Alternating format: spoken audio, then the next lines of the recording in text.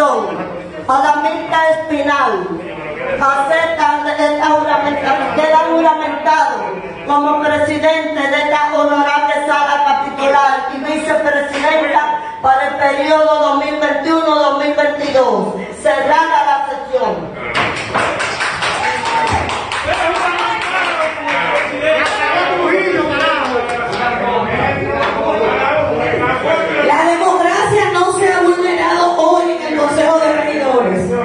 El Consejo